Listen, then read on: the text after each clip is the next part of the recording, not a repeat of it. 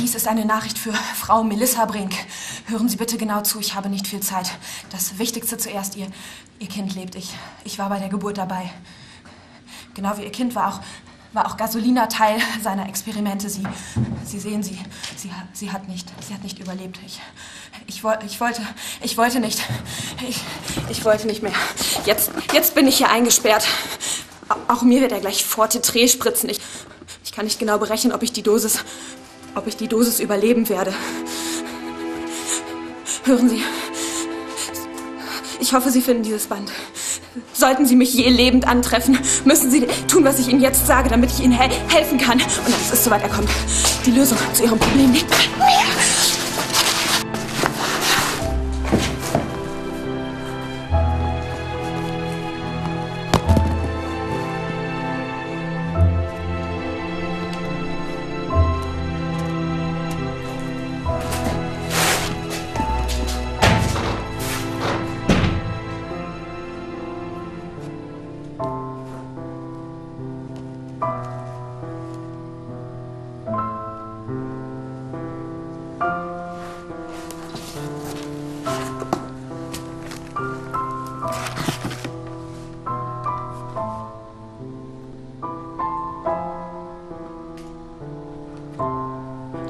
Der Himmel sieht drohend aus.